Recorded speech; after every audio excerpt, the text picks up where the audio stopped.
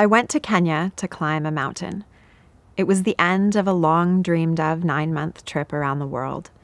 I had run a marathon in Madrid, I had skydived in South Africa, and I'd climbed to the base camp of Mount Everest. Kenya was the last stop on our trip, and someone recommended that we stay at a cheap guest house that was owned by an orphanage near the base of Mount Kenya.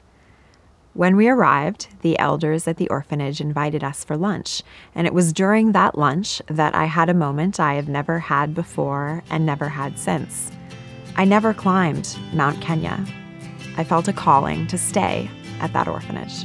I had never seen a place so committed to community building and welfare.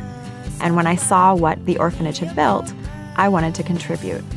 So I started a running program to help empower the kids with the tools of social entrepreneurship, personal health, and education. The running program brought smiles and joy all around. One of those runners stole a special place in my heart.